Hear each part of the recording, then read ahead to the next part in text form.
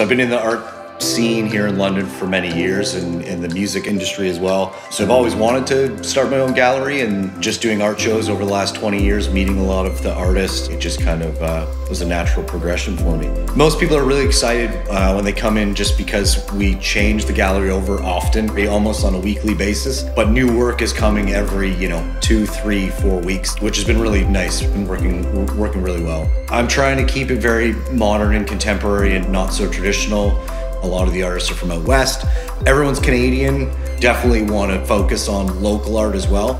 We also do solo shows and like, you know, big abstract shows and landscape shows. So I'm really hoping to grow the reach of the gallery outside of London, Toronto, even in the US. And, and you know, being a, uh, an artist and a gallery owner, I think I, I see things a little bit differently than other gallery owners. And I kind of know the business of the other side.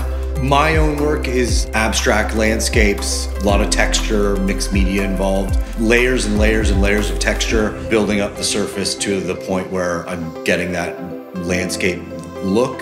I love the fact of meeting people like-minded and, and showcasing what they do, building them up and getting getting the work out there.